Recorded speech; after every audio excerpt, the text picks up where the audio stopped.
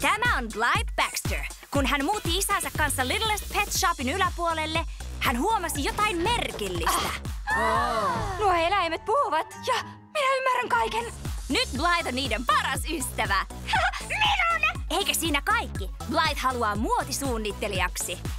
Ja hänen uudet ystävänsä innoittavat häntä aivan uskomattomin tavoin.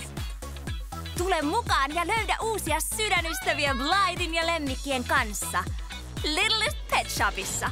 Haluatko tietää lemmikeistä lisää? Katso littlestpetshop.com.